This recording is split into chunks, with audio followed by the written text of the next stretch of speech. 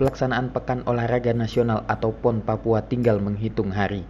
Diketahui dengan kondisi Papua yang merupakan daerah rawan konflik, sehingga kontingen Kalimantan Utara diperbantukan oleh personel TNI dan Polri. Ketua kontingen Kaltara Brigjen TNI Sulaiman menjelaskan, untuk keamanan wilayah di Papua saat ini dipastikan aman Pasalnya beberapa pasukan telah dikerahkan untuk mendukung pelaksanaan PON Papua, bahkan untuk tim Kalimantan Utara juga akan dikawal oleh personel keamanan.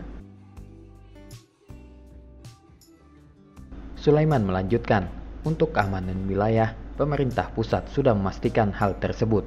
Sementara untuk keamanan tim kontingen juga sudah disiapkan. Pihaknya menjelaskan nantinya personel TNI Polri yang tergabung dalam kontingen Kalimantan Utara akan dibagi di beberapa tempat. Sulaiman juga berharap untuk kontingen Kaltara tetap menjaga kondusivitas selama pelaksanaan PON di Papua nanti.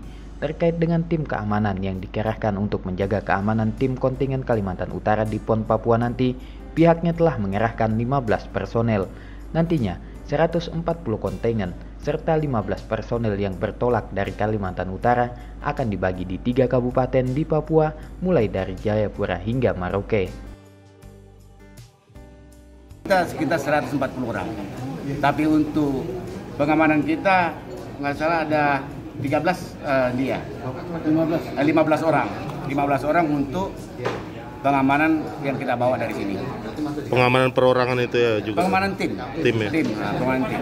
Dia melekat dengan tim-tim yang kita bagi-bagi.